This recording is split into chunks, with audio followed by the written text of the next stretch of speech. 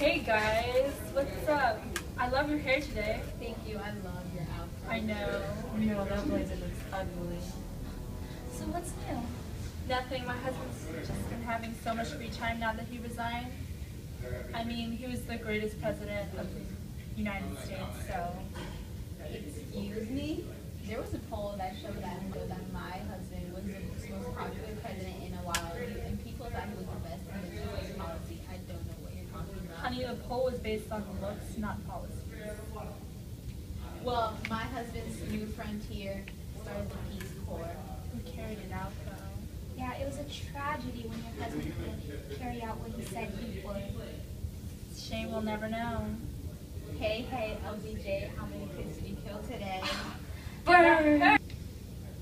Well, my husband came up with the Great Society, which caused the Head Start program and the medic still here today. Well, who carried out the civil rights movement? Your husband merely carried out what Lincoln started, and he couldn't even finish it. My husband had to carry out the rest of the work. Maybe if your husband wasn't so worried about the Vietnam War, his Great Society would have actually been great. And even with that, anything good that comes out of the Great Society would have been made by mistake. My husband prolonged the war. Well, my husband finished.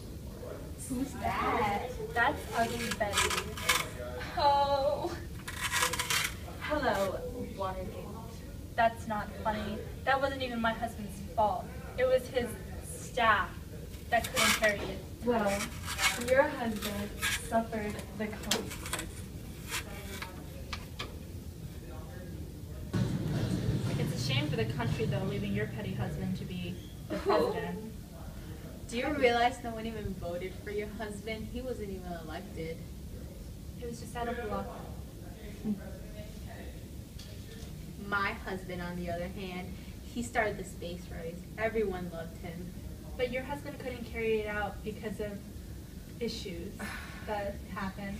My husband sent the man to the moon. Oh, so what'd you think about his affairs? Oh, rest in peace. At least people liked him. First looks. Exactly. My husband had intelligence that your husband lacked.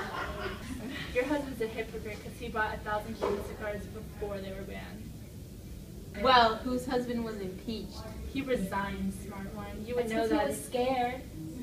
He wasn't scared. He wanted to protect the American society. From what? From the scandal he From created his- himself. You should know all about scandal with Marilyn Monroe. That's very hurtful. It was meant to be. Anyways, ladies, let's get back to the real business. Betty's presence degrades the environment in here. Let's leave. Have fun in office. Bye. Wait, no, guys, wait. Oh, wait.